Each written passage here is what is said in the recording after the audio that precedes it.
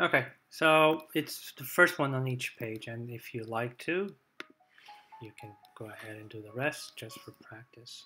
So I guess, you know, if you, from what we did in class, if you understand that whatever you do to one side, you must do to the other, this is a very easy uh, activity. All right, so we want we want all equations, well, our equations were e equals 40, right? So starting with e equals 40, uh, here's what I did to both sides. So I'm going to start with I, I mean, I don't know, times 5 to both sides. So if I multiply both sides by 5, I'm going to get 5e. And 5 times 40 on the other side is going to be 200. So I can solve this, divide both sides by 5, and I would get e equals 40. So that's a one-step equation. A two-step equation, to this I'm going to, I don't know, add or subtract a certain value to both sides. I'm going to do minus 20 to both sides. So on the left side, I'm going to get 5e minus 20.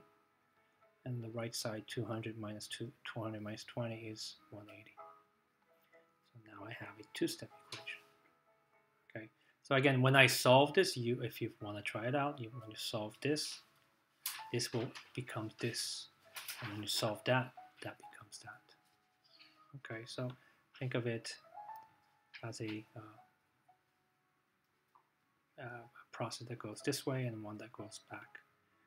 Okay, so let's, so now I need something with parentheses. So in order to, so I'm gonna, so I'm gonna factor out the uh, the greatest common, you know, actually, you can factor out a factor, a common factor between 5e and 20.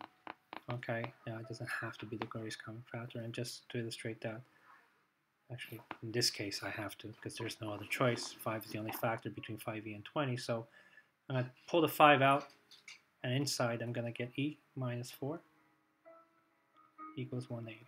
And again, if I did the distributive property, I would get 5e, which is this, and 5 times negative 4, which gives me this.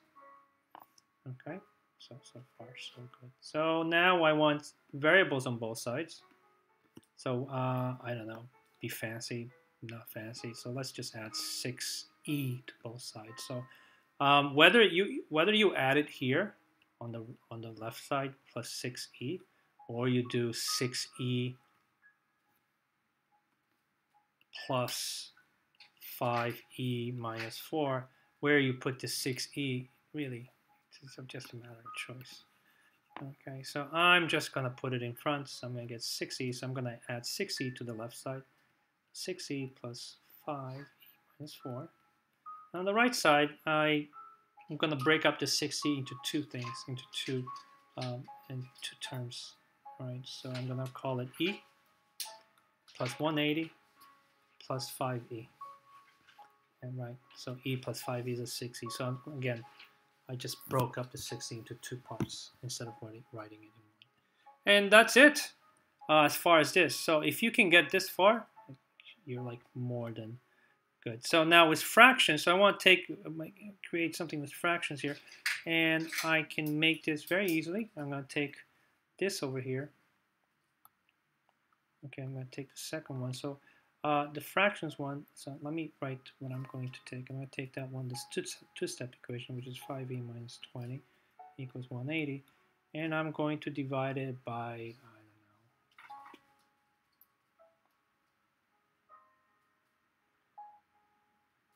make something up. Come on, uh, by 4. Well, again.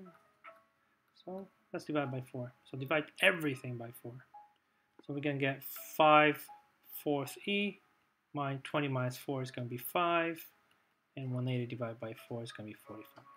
So is there fractional, there fraction in this equation? Now there is. Okay. And then the last question, and I know you can't see it on the screen, and I don't want to move my screen because if I move my screen, I lose everything. I'm going to take that same two-step equation and somehow introduce decimals to it. So 5e minus 20 equals 180. I divide everybody by 100. Okay, dividing every, everybody by 100 means move the decimal two steps to the left. So um, I'm going to get, what is this? 0.05e minus 0.2 equals 1.8. So there is now uh, an equation, okay, where we introduce decimals. And again, this also when you solve it, you'll notice that you'll get e equals 40. Okay, and that's that's really it. There's not much of a challenge here. Sorry. Uh, but again, just be careful and show me the steps. So this is page two. Now we want something that uh, we want all, we're going to start with m equals 12. So I don't know, this one I will divide. So I'm going to divide both sides by 4. So I'm going to get m over 4 and 12 divided by 4 on the other side is 3.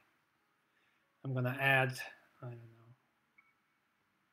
I'm going to add um, 20 to both sides. So I'm going to get m over 4 plus 20 and 3 plus 20 on the other side is 23. Gonna, can I do parentheses? Yeah, I can do parentheses here. So I'm going to introduce parentheses and introduce, I'm gonna, I'm gonna take out one fourth out. If I take one fourth out, I'm gonna put m here because one fourth times m gives me m over 4. And then one fourth times what number would give me 20?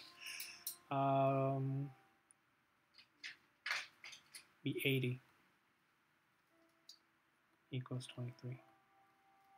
And right, because 1 fourth times m is m over 4, and 1 fourth times 80 uh, would be 20. So there we go. Now variables on both sides, let's subtract, I don't know, 3m to both sides, so 1 fourth m plus 80. I'll subtract minus 3m. On the other side, I'm going to do 23 minus 7m plus 10m. Sorry, plus 4m because negative 7m plus 4m gives you negative 3. It's just another way of writing negative 3. With fractions, I actually, I actually took care of that here. Okay, so with the fractions, we already have, this is already an equation with fractions, so you can just copy the first one, this one, or this one. Okay, it's already fraction. Uh, if you want to change this to a decimal, ugh, Let's see what we can do to change this to a decimal. Um,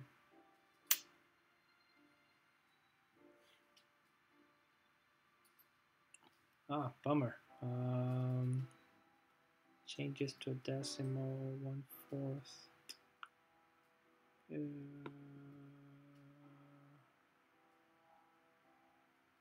I mean, we can.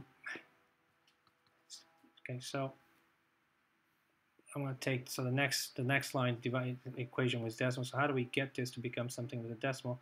So let's just take something. So m4, m over 4 plus 20 divided by 23. What happens if I divide everybody by 10? I divide everybody by 10. 23 becomes 2.3. 20 becomes just 2. And m over 4, so let me just take that. m over 4 divided by 10 is the same thing, right? So let me write it like that and we're going to use, we're going to change that to multiplying by the reciprocal, so it's m over 4. Remember, it's 10 over 1, so we're going to multiply 1, 1 over 10. So it becomes n over 40. And there is fractions and decimals now on, on, on this equation, which is you know, fine by me. Okay. So again, these are my equations. You obviously have your own, so just use these as you get some type of a reference. Okay. G equals 8. Um, I'm going to times 6 to both sides, so I get 6g equals 48, because 8 times 6 is 48. That's my one-step equation. I'm going to subtract 10 from each side. I'm going to 6g minus 10 equals 38 the parentheses, well, I can pull out a 2, that's a common factor, and it becomes 3g minus 5, right? So notice that this one, um, I don't know what I was going to say. Uh, notice this one that the uh, greatest common factor was 2, I guess. That's, so equals 38.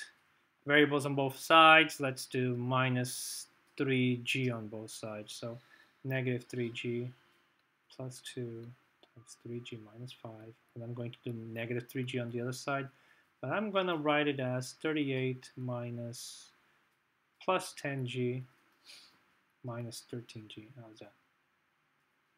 Okay. Um, and then I'm going to take this one.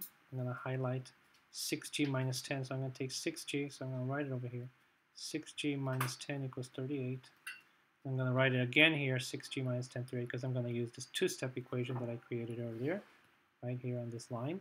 And I change that to something with fractions, so that has fractions, and I'll change that to have something that has decimals, right? So the decimal is easy. I don't know, we can just divide it by, I don't know, let's go crazy and divide everything by 100. So if we divide everything by 100, is 0.06g minus um, 0.1 equals uh, 0.38, right?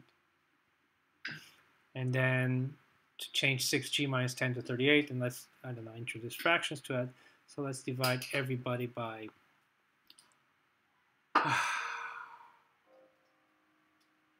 divide everybody by 12. How's that? I just let's see what happens here. So if I divide everybody by 12, so I'm going to put 6g over 12 minus 10 over 12 and then 38 over 12. Let me just simplify this.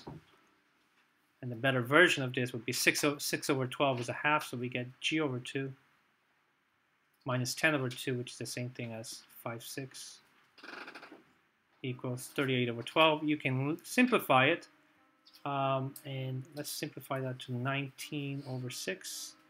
19 over 6, right? 19 over 6, which is going to become 3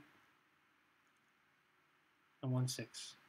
So there, I changed that and made a an equation with fractions. Now, every single equation that we created here, every single one of them, and I'll sort of put every single one of them here has the same answer g equals 48 okay so hopefully those kind of helped um, provide you a uh, uh, point of reference when you're doing yours